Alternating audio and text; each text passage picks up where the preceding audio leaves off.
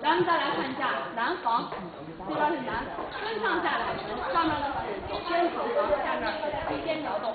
南墙上刻的是田府的家训，咱们过来参观一下。老烟老烟地毛坯了。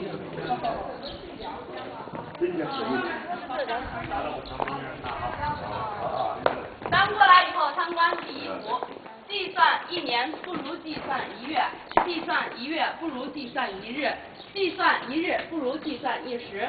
盖以一时所损益者为数虽小，而累以年月则为数甚大。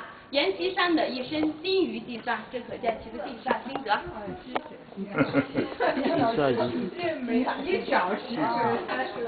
咱们过来以后参观第二幅。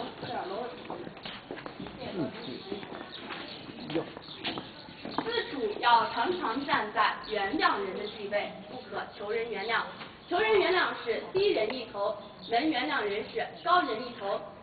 容乃大，阎锡山认为要想做到高人一头，就必须要有宽广的胸怀。咱们接着往前走。哈哈，啊。啊，这是当时阎锡山给他说的，这个上面是他本人刻上去的，这个是当时的原原貌。第三幅，做事是人生的结果，做的事多就是此生的结果大，做的事少就是自身的结果小。为做人即应当做事，人生的价值就在于做事的多多少。咱们接着往前走。